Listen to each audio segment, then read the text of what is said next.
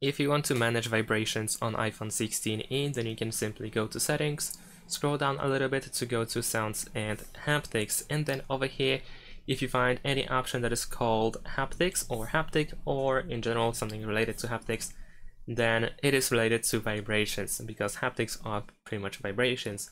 So for example, if you go to haptics in ringtone and alerts, you can choose to enable or disable vibrations for ringtones and alerts, whether they should always play.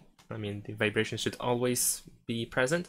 You can uh, make them work only in the silent mode or accept the silent mode or just never play.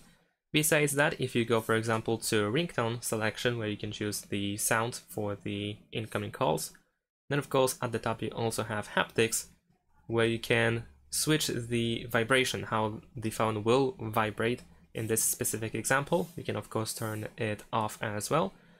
And this is specifically for ringtone as I selected in the settings, but of course uh, if you scroll further down you will find also text tone, news, voicemail and so on and so forth. Besides that you can also enable vibrations for the keyboard and the system vibrations in general, system haptics, which are for system controls and interactions.